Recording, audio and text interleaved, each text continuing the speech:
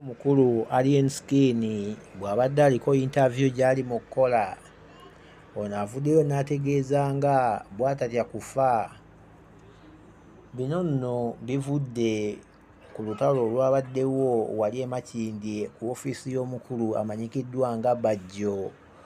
Alien skin bwe yalabiki bwe yalabiddwako mu mmotoka nga bazze okulumba Bajjo era ne batomera emmotoka ye alien skin we twogerera avuddemu omwasi ono ategeezezza nti omuntu bw'aba yakukyawa ng'akukyayidde awatali nsonga naawe olina okumuwa ensonga ennungi era olina okumulaga nti bino bya ddala bw'aba takwagala nga talina ensonga.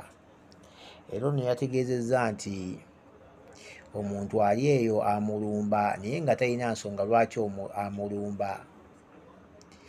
Nti era abantu abo abamulumba bateeka ssente mu bantu abamulwanyisa balabe nga bamusuula wabula ate ye ebyo si by'aliko.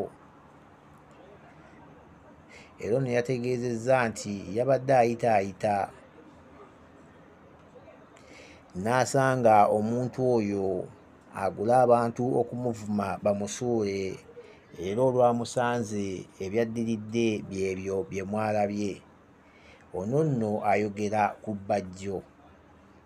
Era ono yategeezezza nti akimanyi bulungi. Lunaku lumu ajja kuba nga aggyibwawo nga mu firimu endala bwe zibeera.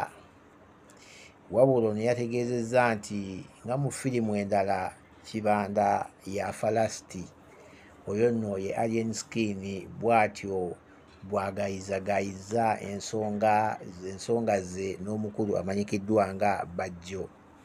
Nnyongera okujjukiza nti subscribinga layikinga sharinga commentinga teekako notification bell osobole okulabika nti ofuna okutegeezebwako buli lwe tteekayo vidiyo endala musibye bulungi mweraba